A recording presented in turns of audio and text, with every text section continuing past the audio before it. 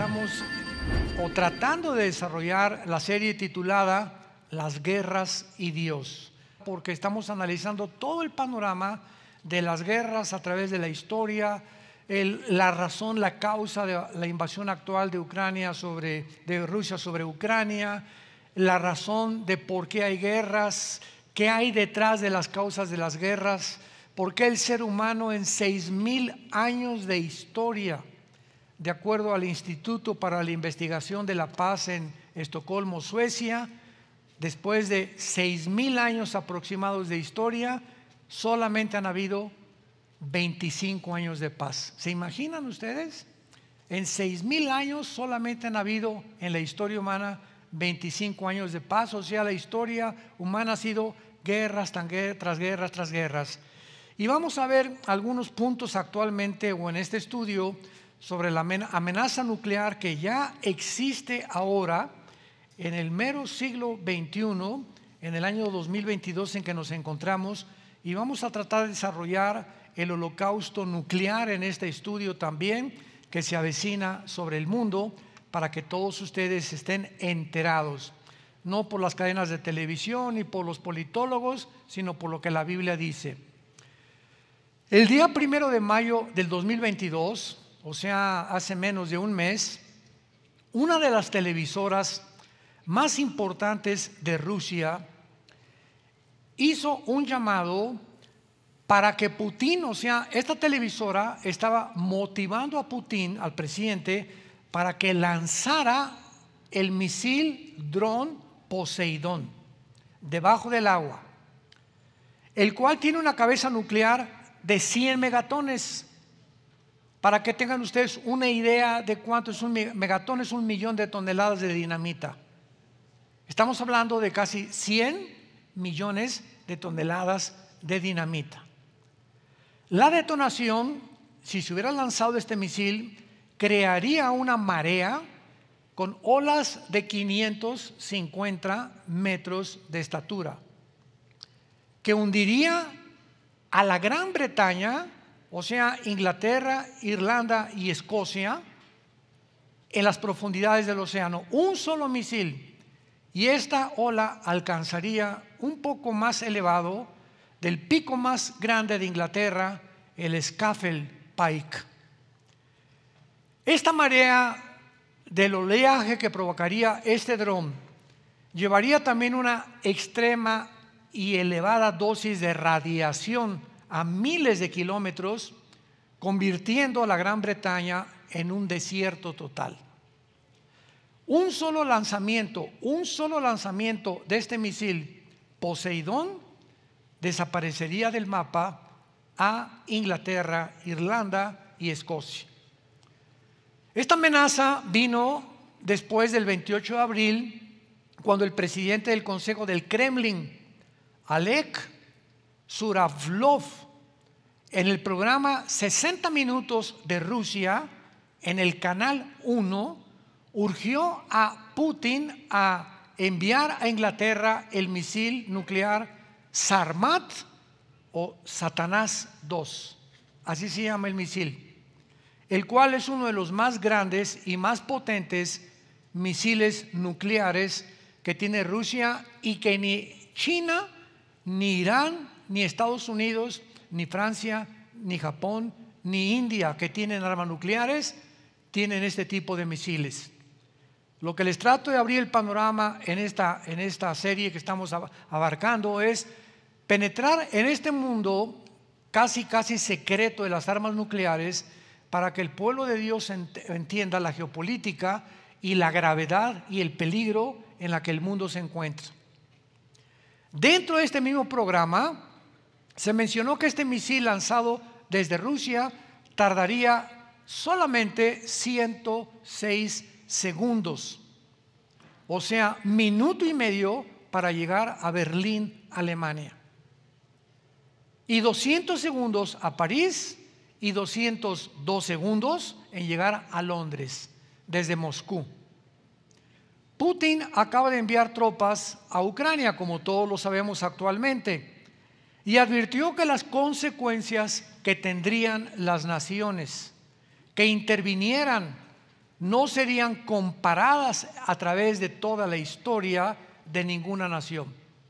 El primero de marzo de este año, Putin ya había clasificado sus submarinos de misiles balísticos y sus lanzadores de misiles, misiles aire-tierra en lo que llamó solamente un ensayo. Pero veamos las cuatro naciones que actualmente amenazan la paz del mundo y que cualquiera de estas cuatro naciones va a iniciar tarde o temprano, porque está en la Biblia, el mundo va a acabar nuclearmente, la radiación va a acabar con dos o tres continentes tal vez, como vamos a ver con las estadísticas que la Biblia nos da, para que podamos comprender claramente lo que tenemos delante. Rusia tiene, vamos a comenzar con Rusia, después con China, con Corea del Norte y con Irán. Son las cuatro naciones más amenazadoras para una guerra nuclear. China tiene una, llamada, una doctrina llamada el que golpea primero es el que gana. Esta doctrina o esta filosofía dicta que cuando una nación amenaza a otra, la que primero lanza el primer misil nuclear es indudablemente la que va a ganar. Muy bien. Hasta el año pasado, hasta el año pasado, los más grandes estrategas militares de West Point en Estados Unidos, que es la academia militar más prestigiada, y de Europa, consideraban que si Rusia enviaba un misil a Estados Unidos, no se atreverían a hacerlo, porque Estados Unidos tiene escudos protectores de misiles, y al igual que Israel, estoy hablando del año pasado, para que vean lo que ha pasado en el último mes. Y si lanzaron un misil eh, Rusia, entonces tardaría 28 minutos en llegar a Estados Unidos. Muy bien. El presidente de los Estados Unidos de Norteamérica tiene un maletín siempre junto con él que lo acompaña un militar, la mayor parte de las veces un general. Dentro de este maletín, el presidente de Estados Unidos tiene una computadora donde Él es el único que puede apretar un botón para que en el momento que apriete el botón, mansa una señal a toda la naval, a todos los portaaviones y barcos de guerra que están en el mundo entero, a toda la flota aérea si se encuentran en ese momento en el aire y a toda la infantería de todos los tanques, de todas las unidades militares que están en Europa, en Asia, en China, porque Estados Unidos tiene soldados en el mundo entero. El momento que un, submarino americano recibe esa señal, o un avión eh, de guerra, un B-52 bombardero, o los generales que se encuentran en, tal vez en Europa o en China, reciben esa señal, significa que han entrado a un tiempo de guerra internacional, donde inmediatamente van a tener que hacer uso de sus señales y la segunda señal que el presidente manda es, y la tiene que mandar porque el presidente ya está consciente que de acuerdo a los satélites, ya detectaron que un misil viene contra Estados Unidos, lo cual tendrían la naval, la fuerza aérea y la fuerza de infantería en la tierra, tendrían 28 minutos para actuar y detener ese misil. Sin embargo, el misil que lanzara Rusia llegaría en 25 minutos. Tres minutos bastarían en que se tardara en abrir el maletín de Estados Unidos y en coordinar tropas en el aire, en el mar y en la tierra para detener ese misil, lo cual sería una imposibilidad, porque este misil nuevo de Rusia vence las cortinas de protección de Israel y de Estados Unidos. Se llama el SS-500. China hizo una declaración el 4 de febrero acerca de una unión permanente con Rusia, ilimitada.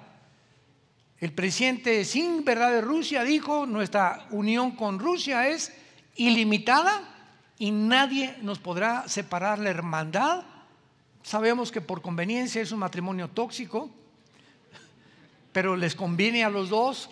Eh, China tiene el ejército más grande del mundo 200 millones de soldados. Y Rusia tiene las armas nucleares y la protección nuclear más poderosa del mundo. Imagínense nada más que alianza de estos dos lobos, ¿verdad? Entonces han hecho una alianza eh, que, es nadie puede romper. Las sanciones económicas que ahora le lanzaron a, Rusia por invadir Ucrania no le han hecho, como dicen vulgarmente, lo que el aire le hace a Juárez. Absolutamente nada. No le han movido. Antier le cerró el gas Rusia a Finlandia porque Finlandia y Suecia amenazaron hace una semana de unirse a la OTAN que son de, las naciones que se habían mantenido neutrales junto con Suiza. Después de la Segunda Guerra Mundial, Suiza, ustedes todos lo saben, es la única nación en Europa que es neutral, no tiene ejército. Y si hay guerra, ellos dicen, aquí no pueden estacionar aviones ni nuestros aeropuertos, somos una nación neutral, no nos metemos con nadie. Y Finlandia y Suecia habían mantenido también ese protocolo. Pero ahora, ante la posibilidad de que Finlandia tiene casi frontera con Rusia, se han sentido amenazados que podría Putin también en algún tiempo invadirlos y pidió ayuda a la OTAN. Esto enfureció a Putin hace tres o cuatro días y ahora le cerró el gas a Finlandia. Y están considerando realmente si dejan de unirse a, la OTAN o no. Y para grabar la situación, todo esto es hace una semana, ¿eh? Para grabar la situación, Turquía, que pertenece a la OTAN, Turquía, que pertenece a la OTAN, al oír que Finlandia y Suecia quieren unirse a la OTAN, amenazó Turquía con salirse de la OTAN. ¿Por qué? Porque para los turcos, Finlandia sostiene, así les llama el presidente Erdogan de Turquía, terroristas a los kurdos. Los kurdos es un grupo étnico que están a la orilla de Turquía con Armenia, casi frontera con Siria, que han declarado la guerra a Turquía y han buscado su independencia y no se les ha permitido independizarse para formar una nación.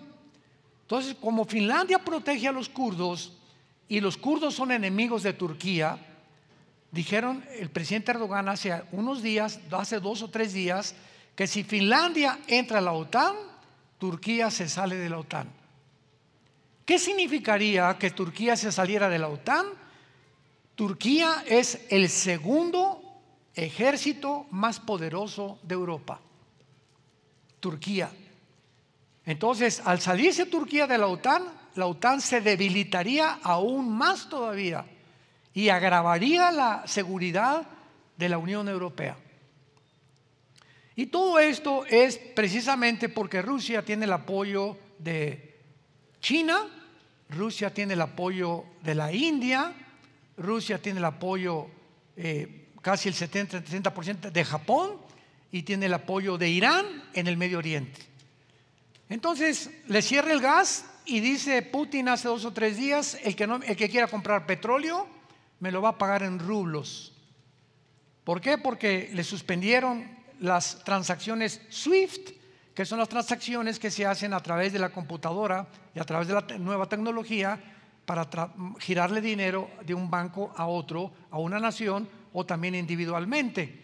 Entonces, todas las naciones que tenían transacciones monetarias con Rusia fueron canceladas. Rusia ya no puede tener con los bancos europeos ninguna transacción porque no tiene SWIFT, pero tiene SWIFT con China, con Irán, con Japón, con la India. Y China tiene mucho más probabilidades de ayudar a Rusia económicamente que las mismas sanciones que han debilitado más a Estados Unidos y Europa. O sea que fue un error gravísimo decirle a Rusia, pues como no podemos entrar a la guerra a Ucrania, porque Ucrania no pertenece a la OTAN, pues te vamos a sancionar económicamente y no le compren a Rusia y nada y no cancelen las, congelen las cuentas bancarias a Rusia en toda Europa y en el mundo entero, etcétera, etcétera. Y eso fue contraproducente porque está produciendo una inflación en Estados Unidos Aquí en México ya la Suprema está en 23, ya subió un peso la gasolina. Aquí en Estados Unidos el trigo y el grano, el fertilizantes y el petróleo y el gas que viene de Ucrania y de Rusia al mundo entero ha causado esta inflación porque hicieron enojar a tu padrino Putin. se dan cuenta en el conflicto que el mundo se entera. Y todo lo que vemos en la televisión y en los medios de comunicación son puras mentiras. Porque detrás de esto, la guerra es un negocio. Y Estados Unidos, con una deuda externa de 33 trillones de dólares, es la deuda externa de Estados Unidos, nunca podría pagar Estados Unidos esta deuda. ¿Y por qué no la han obligado a pagarla? Porque el dólar, desde la Segunda Guerra Mundial, es la moneda modelo para transacciones del petróleo a nivel mundial. En otras palabras, España, ¿quieres petróleo? Me pagas en dólares. Eh, no en euros. Eh, Inglaterra, ¿quieres petróleo? No me vas a pagar en libras esterlinas, me vas a pagar en euros. Rusia, ¿quieren petróleo? No aceptamos rublos, aceptamos dólares. Los árabes quieren petróleo para comprar en la sociedad o en la OPEP, tienen que pagar en dólares. Cualquier nación en el mundo ahorita que necesite comprar petróleo tiene que pagarlo en dólares. Entonces, Rusia le quitan esta opción y se une con China y están fabricando una nueva moneda, tal vez sea el yuan chino, para que el mundo ya no compre el petróleo en dólares, sino en yuanes.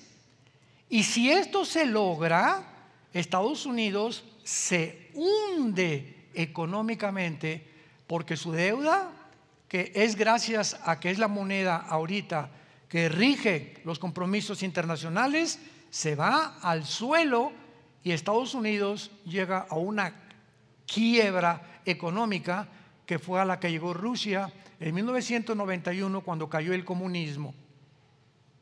Cuando Mikhail Gorbachev tuvo que declarar en las Naciones Unidas, el comunismo fracasó como ideología estamos más pobres que nunca en la historia, la antigua Unión Soviética. Corea del Norte, el coreancito este, ¿verdad? Jim Jong sigue haciendo pruebas, lanzando continuamente, por lo menos dos o tres veces al mes, bombas al Océano Pacífico y amenazando a cualquier nación que se lo impida. E Irán no cesa de amenazar a Israel con una bomba nuclear la cual ya pudo obtener después de varios años y siguen fabricándola. El presidente Trump amenazó a Irán y le dijo, si tú sigues con las, eh, las fábricas para producir este, las centrifugadoras del el plutonio 235, que es el elemento con el que se forma la bomba atómica, suspenderé contigo toda, toda transacción.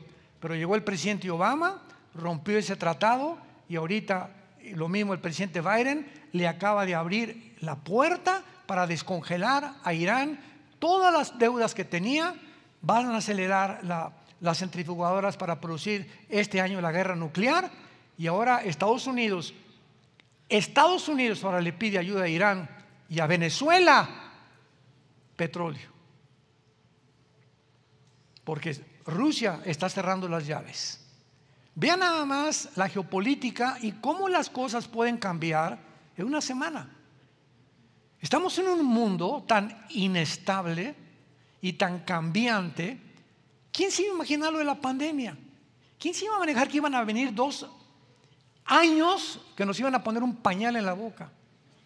¿Quién se iba a imaginar que pudiera causar tanto autoritarismo y tanta, tantas arbitrariedades a las naciones una pandemia para que los políticos la usaran como un arma política para controlar y ordenar y no te metas a la playa y no vas al gimnasio, etcétera, etcétera. Y aunque existía el peligro, ¿verdad?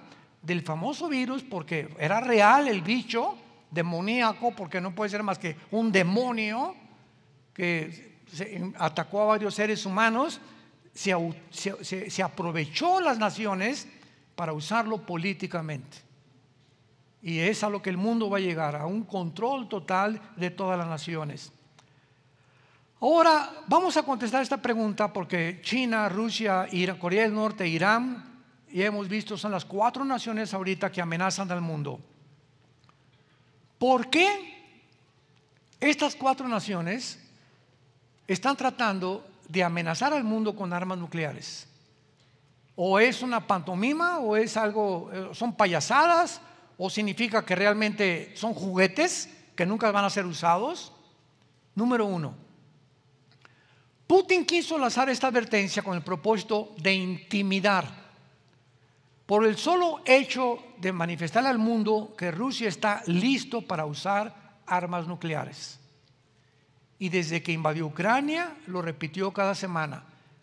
No me provoquen para usar las armas nucleares. Y varias naciones pensaron que mejor no es pelear contra Rusia, porque este hombre lo que dice lo hace. Por causa de que las democracias occidentales que se mantuvieron ajenas a la invasión a Ucrania, como fueron China, Irán y Corea del Norte, creen tener el mismo resultado si invade China a Taiwán, si invade Irán a, este, Israel y si Corea del Norte invade a Corea del Sur. Se han envalentonado porque se dieron cuenta que si le funcionó a Rusia, les va a funcionar a ellas también, porque es un cuarteto de estas naciones las que se ha formado como una pandilla o como un club en el mundo. Número dos, tanto Putin como Xi Jinping, Xi Jinping, el presidente de China, pudieron hacer estas amenazas porque no respetan ni perciben a las naciones como enemigos potenciales. Imagínense la confianza que tienen. O sea, están tan seguros que es tan grande el poder de China ahorita y el poder de Rusia nuclearmente que ninguna nación les puede hacer frente, mucho menos Estados Unidos de Norteamérica, que desde que se salió de Afganistán hizo el ridículo y la vergüenza ante el mundo entero y envalentonó a China, a Rusia, a Irán y a Corea del Norte para realmente darse cuenta que Estados Unidos actualmente es un tigre de papel, que ladra pero no muerde. La retirada de Afganistán y la falta de apoyo a Ucrania desde 1994 ha envalentonado a estas naciones. Número tres, porque muchos están de acuerdo en que el momento más peligroso desde hace casi 73, 74 años de la Segunda Guerra Mundial fue la crisis de misiles en Cuba en 1962. No sé cuántos de ustedes nacieron de los 60 para acá, pero en 1962 el primer ministro de Rusia, Nikita Khrushchev, comenzó a mandar misiles a Cuba. En Estados Unidos el presidente era John F. Kennedy. Y los satélites que comenzaban ya a usarse en el mundo tomaron fotografías, se las llevaron al presidente Kennedy y le dijeron, Rusia está colocando misiles apuntándonos a nosotros nucleares. Cuando el presidente Kennedy ve las fotografías satelitales de que efectivamente hay pruebas ante las Naciones Unidas que Rusia está invadiendo Cuba para poder apuntar a Estados Unidos, John Kennedy le habla al, primer ministro de Rusia, Nikita Khrushchev, y le dice, oye Nikita, Nikita ni pones. Se le quedó ese apodo desde cuando, ¿no? Si tú no sacas los nucleares de Cuba, vamos a entrar a una guerra nuclear. Fue la primera crisis después de la Segunda Guerra Mundial donde dos naciones se enfrentaban es una crisis que duró casi dos semanas. Finalmente, Nikita Khrushchev, al ver la firmeza y la decisión del presidente Kennedy, sacaron los, misiles nucleares y los regresaron a Rusia. Desde el 62 hasta ahorita no había habido una confrontación como la que ahorita tiene Rusia con Estados Unidos.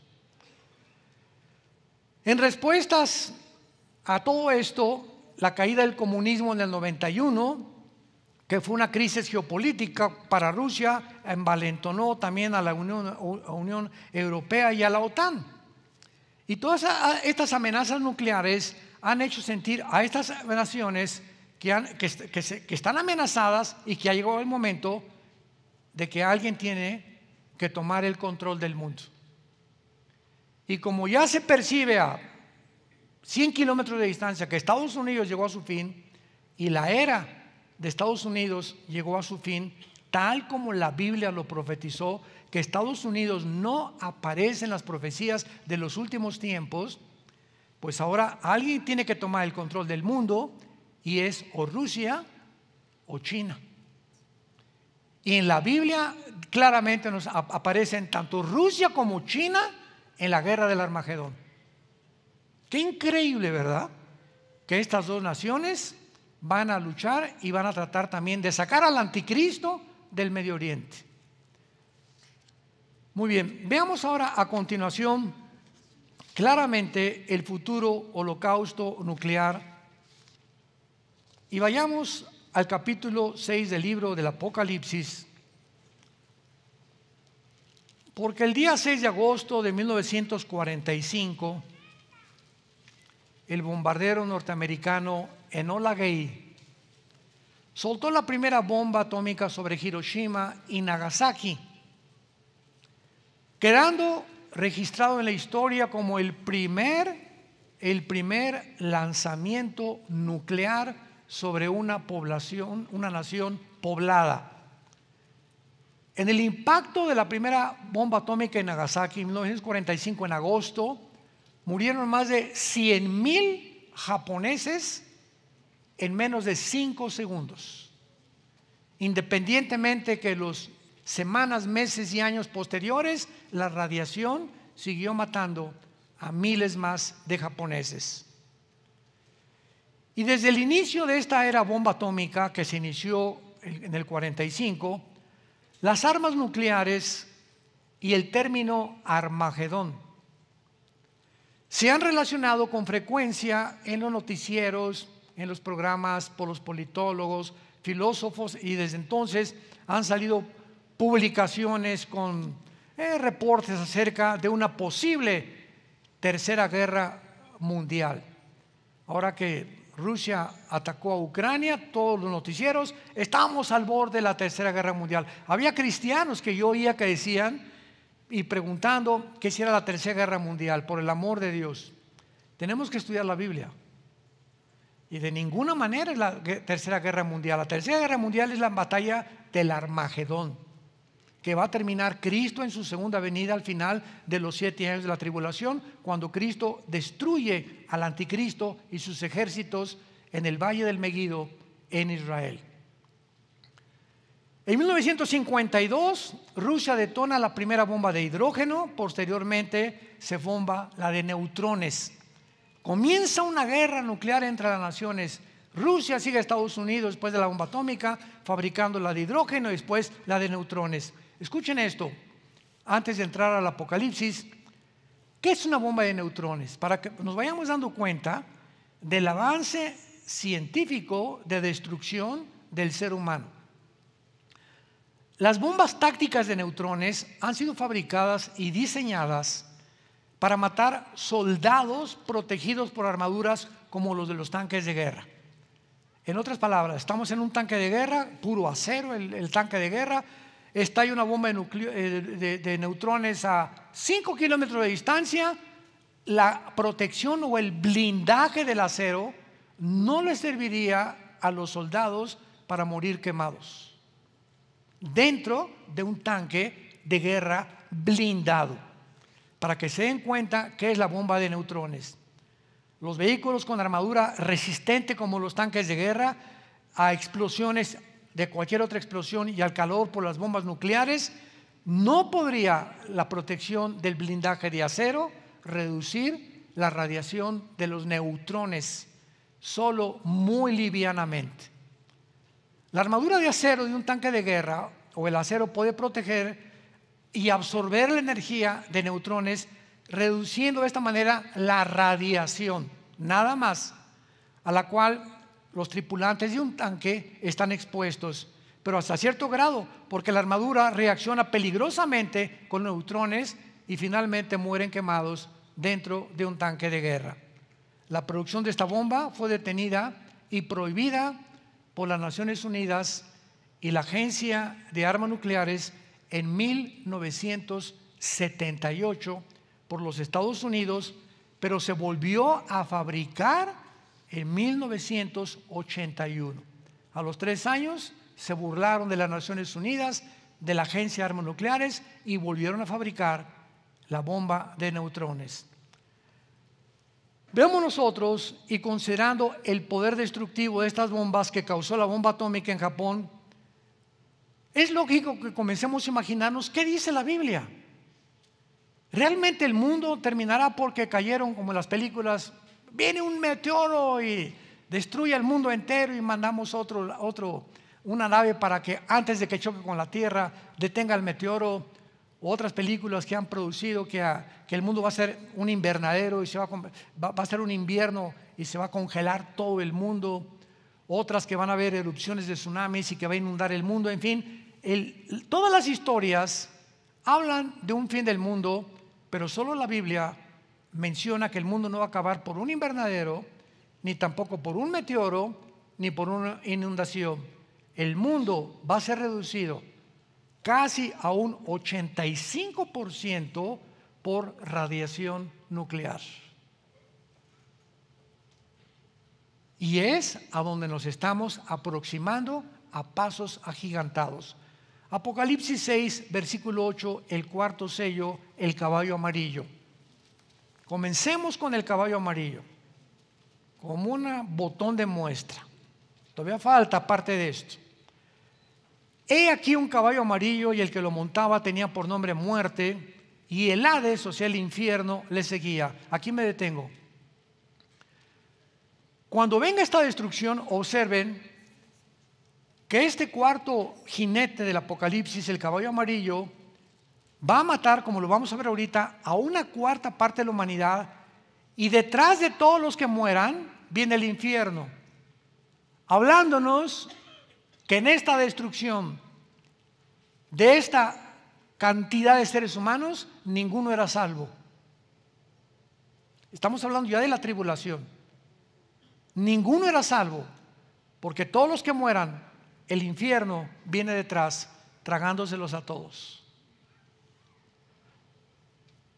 Y el que lo montaba tenía por nombre muerte y el Hades le seguía y le fue dada potestad sobre la cuarta parte de la tierra para matar con espada, o sea, con guerras.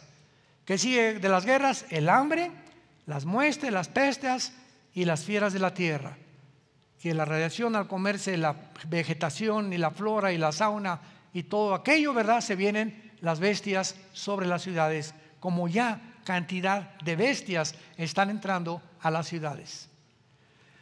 Actualmente vamos a cerrar la población de la Tierra en 8 mil millones de personas.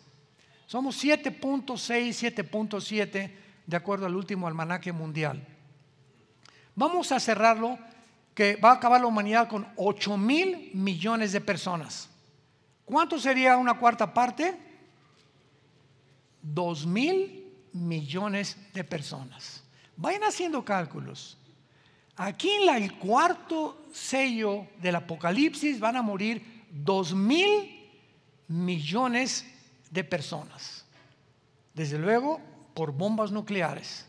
Muy bien. Para tener una idea cuántos son dos mil millones de personas, solamente consideremos que desde Alaska, todo el continente americano hasta la Patagonia, casi hasta la Antártica, somos 1.150, máximo 1.200 millones de personas. Alaska, Canadá, Estados Unidos, México, El Salvador, eh, Nicaragua, Panamá, hasta la, hasta la Argentina, la punta de la Patagonia. No llegamos ni a los 2000. O sea, estamos hablando que todo el continente americano va a desaparecer, incluyendo Tlalnepantla. Adiós mundo cruel.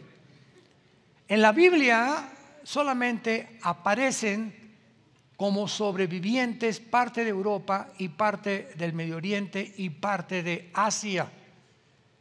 Por lo que también tenemos que considerar que también va a desaparecer todo el continente africano. Estamos hablando del inicio apenas de las primeras bombas que van a, eh, van a explotar.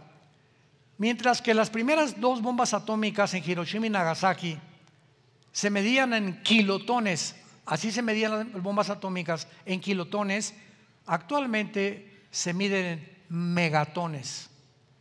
Y un megatón son 100 toneladas de millones, 100, 100 millones de toneladas de dinamita. El misil que hablamos o el dron que le motivaron a Putin que lanzara debajo de Inglaterra para desaparecer Inglaterra, Irlanda y Escocia era de 100 megatones, 100 millones, 100 veces más poderosa que la bomba atómica de Hiroshima y Nagasaki.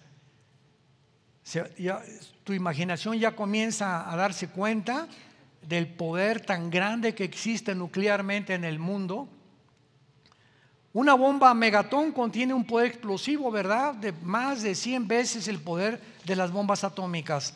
Ahora, vemos nosotros que el apóstol Juan, que escribió el Apocalipsis hace dos mil años, pudo tener una revelación cuando no existían todavía las armas de... No, no había balas, ni siquiera la pólvora se había descubierto. Y en el tiempo de Juan, ¿verdad? En las guerras, los romanos, los griegos, los medios persas, los babilonios, eran espadas y catapultas y caballos, y no se conocía ni siquiera, vuelvo a repetir, eh, el invento de la pólvora que sacaron los chinos eh, algunos años después. Entonces vemos cómo este hombre, Juan hace dos mil años, puede escribir que llegaría el momento en que ni las espadas ni los caballos acabarían con la cuarta parte de la humanidad. Y esto es una de las evidencias más grandes que tenemos de la inspiración de la Biblia hecha por Dios. Y este apóstol, ¿verdad?, que sufrió el exilio y parte del imperio romano en Palmos, de ahí recibió la visión que le fue descrita por Jesucristo, porque así comienza el Apocalipsis, la revelación de Jesucristo que Dios le dio, para revelar a sus siervos las cosas que han de suceder pronto. Dichosos y felices los que leen el Apocalipsis, porque la hora se aproxima y es la hora en la que tú y yo estamos viviendo. Veamos ahora Apocalipsis capítulo 9, versículo 13 al 16.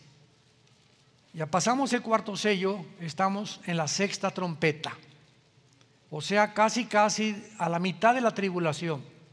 Apocalipsis 9, del 13 al 16. El sexto ángel tocó la trompeta y oí una voz entre los cuatro cuernos del altar de oro que estaba delante de Dios, diciendo al sexto ángel que tenía la trompeta, desata a los cuatro ángeles que están atados junto al río Bravo. Eso dice. La geografía de la Biblia tiene el propósito de situarnos en la geografía del siglo XXI que estamos viviendo. Y el río Éufrates es uno de los ríos, igual que el Tigres, que no han cambiado de nombre desde el Génesis, el capítulo 2, en el huerto del Edén. Sabemos que los demás ríos son el río Nilo, ¿verdad? Y los otros ríos, tal vez el río Danubio, pero el río Tigris viene desde Turquía y desciende por todo el Medio Oriente y desemboca en el Golfo Pérsico. Son casi más de dos mil kilómetros que, tiene de largo el río Tigris y divide exactamente el río Tigris, todo el área del Medio Oriente, con el área casi ya del Asia, del Asia Menor.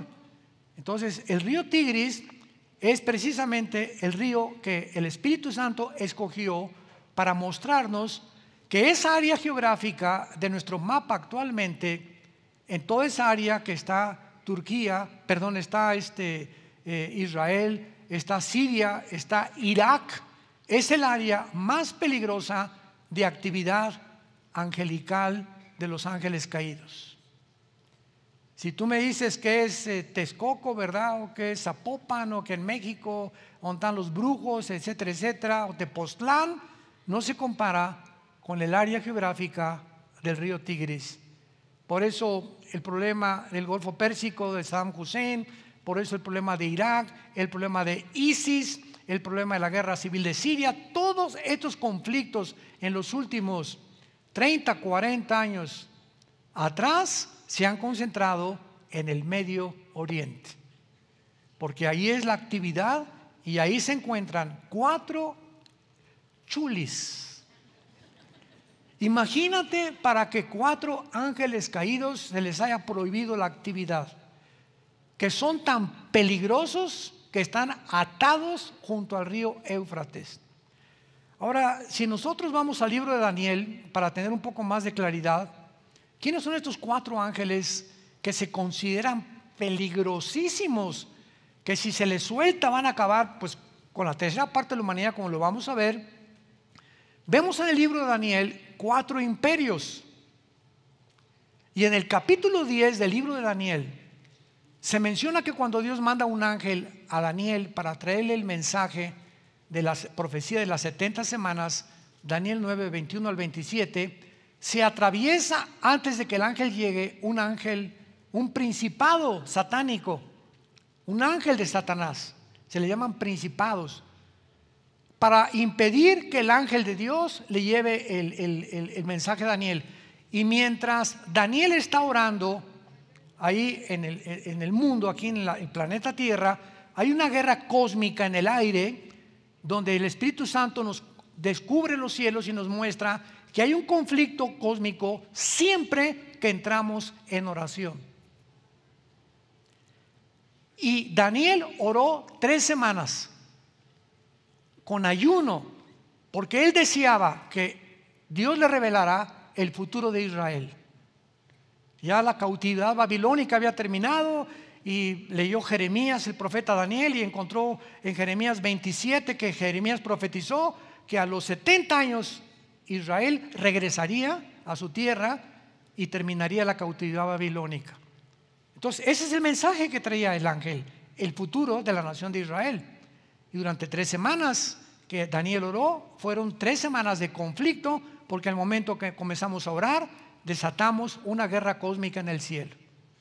Y es nuestra oración la que protege a nuestros hijos, la que te protege en tu trabajo, la que te protege muchas veces en la salud, la que te da dirección, porque cuando entramos en oración pones en guerra a los ángeles de Dios contra los ángeles de Satanás.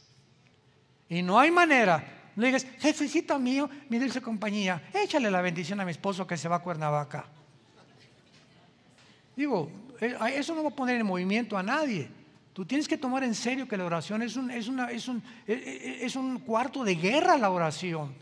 Y tenemos que saber que Dios contesta y que Dios nos va a responder.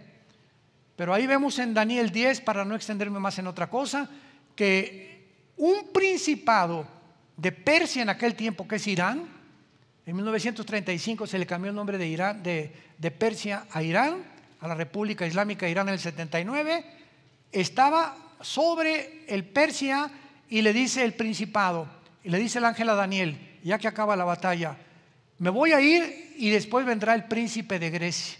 O sea, cada imperio, estoy hablando del imperio babilónico, el imperio medo-persa, el imperio griego y el imperio romano, estos cuatro imperios tenían un principado satánico controlándolos. ¿Cuántos ángeles? cuatro imperios. Son los cuatro ángeles atados junto al río Éufrates. ¿Cómo lo sabemos? Porque al acabar Roma y, desarrollarse todo lo que es el cristianismo, estos ángeles se les redujo la posibilidad de causar más daño en los demás imperios, aun cuando las mismas naciones actualmente tienen otro tipo de ángeles caídos controlando a México, a Estados Unidos, a El Salvador, a Panamá, Argentina, Italia, Francia, etcétera, etcétera. Cada nación en el mundo, de acuerdo a Deuteronomio capítulo 32 del 8 en adelante, tiene un ángel controlando a todas las naciones. Bueno, pues estos cuatro ángeles que están ahorita ahí en el río Eufrates, versículo 15, fueron desatados. Imaginémonos nada más. Fueron desatados, Apocalipsis 9:15, que estaban preparados para la hora, día, mes y año, a fin de matar, a la tercera parte de los hombres. El cuarto sello de Apocalipsis mató a dos mil millones de personas, ¿se acuerdan? Somos aproximadamente ocho mil, mató de, nos, quedamos con dos, cuatro, con seis mil millones de personas después del cuarto ángel. Quítale una tercera parte a seis mil millones de personas. Y vamos a darnos cuenta que cuando Cristo regrese, más de la mitad de la humanidad desaparece por bombas nucleares. Estas bombas no son juguetes, las van a usar las naciones. Y el conflicto ya ha comenzado en el 2022, en el año que tú y yo estamos viviendo. Y ante nuestros ojos se está desplegando todo el panorama que este libro hace dos mil años nos anunció Jesús para que cuando comencemos a ver estas señales no tengamos miedo, no tengamos temor. Porque Jesús nos lo anunció con anticipación que va a suceder, anticipándonos que somos su familia. Y que nos va a meter al arca antes que venga el diluvio. Y nos va a sacar de Sodoma y Gomorra antes que destruya con fuego y azufre el, el mundo, el Señor. Porque somos nuestros hijos, somos la niña del ojo de Dios. Nunca nos dejará, nunca nos desamparará. Yo le decía a mi esposa el otro día, que hace ya tengo algunos meses, que antes de acostarme, me encanta pensar que soy un pollito. Porque me, recuerdo citando casi siempre el Salmo 91. El que habita al abrigo del Altísimo morará bajo la sombra del Omnipotente. El que vive cerca de Dios vivirá protegido de Dios. Como el pollito se mete bajo las alas de la gallina, así debemos sentirnos. Viene el pollito, pío, pío, pío. Y ya de las alitas, ya que hay un lobo por allá, no le preocupa nada porque bajo las alitas de la gallina está contento. Y así me estoy acostando yo todos los días. Los invito a que piensen lo mismo. Señor, aquí está tu pollito. Le hago, pío, pío, Señor. Estoy bajo tus alas. No voy a pensar en nada en toda la noche. No tengo ninguna preocupación. Y todas las que tengo, no me quiero dormir en paz. Mañana tú me dirás qué hacer, etcétera, etcétera. Pero me quiero acostar recordando que soy tu pollito. Que nada me pase. Y que venga un temblor ahorita en la noche, una bomba atómica o lo que sea. Estaré contigo. Es lo único que nos puede dar paz. Que mientras más negra se pone la oscuridad en el mundo, recordemos, somos la familia de Dios. Y estaremos protegidos hasta el final del mundo. Porque Dios nos sacará, no pasaremos la tribulación y cuando todo esto pase ya no estaremos aquí y ya se oye la voz del novio que dice, vengo por ustedes. Y la pregunta es, ¿estás preparado para encontrarte con tu Dios? Porque ya se oyen las trompetas del Apocalipsis en el cielo, los cascos de los jinetes del Apocalipsis en el cielo, que el mundo entra a la última fase que este libro maravilloso profetizó, para que sepas que nunca tengas temor de nada ni de nadie, porque Él nunca nos dejará, nunca nos desamparará. Te damos gracias, Padre, en esta mañana por tu palabra. Gracias porque nos has hecho renacer para una esperanza viva por medio de Jesucristo entre los muertos. Para una herencia inmarcesible, inaccesible, reservada para nosotros en los cielos, que somos guardados, somos guardados, protegidos por el poder de Dios, mediante la fe. Mientras nos mantengamos creyendo que eres real, y no entremos nunca en ansiedad ni en depresión, ni en crisis mentales, porque eso sería incredulidad de actuar y decir que tú no existes, por lo cual voy a tener que recurrir al alcohol, a las pastillas, a las drogas para enfrentar la realidad. En tu casa moraremos y sabremos que tú nunca nos vas a dejar. Te damos gracias, Señor, porque tú eres nuestro amparo y nuestra fortaleza en todas las tribulaciones. El gozo del Señor es nuestra fortaleza. Mantengamos este gozo, esta actitud ante la vida, de reírnos, gozarnos con nuestra familia, nuestro matrimonio. Porque este gozo, este estado mental, emocional del ser humano, nos fortalece interiormente. Por eso dice la palabra, el gozo del Señor es mi fortaleza. Mientras más gozo tengamos en Cristo de saber que estamos protegidos, más fuerte, más blindaje contra todas las acechanzas del enemigo tendremos para enfrentar el futuro. Yo te invito a ti que no conoces a Cristo, ustedes que nos ven por la televisión, que vengas a la cruz. Ven en este momento, Dios te llama.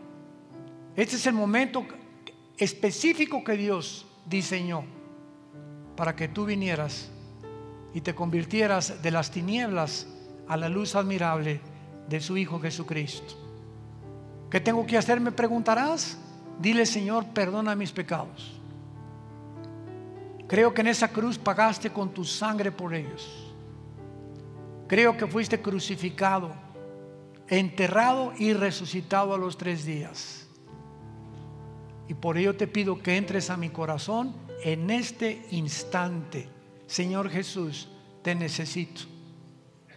Lávame y perdóname y dame desde este momento la fuerza que no tengo, el poder del cual carezco para continuar viviendo para ti. En el nombre de Jesús. Amén. Gracias a Dios por este maravilloso libro. Tenemos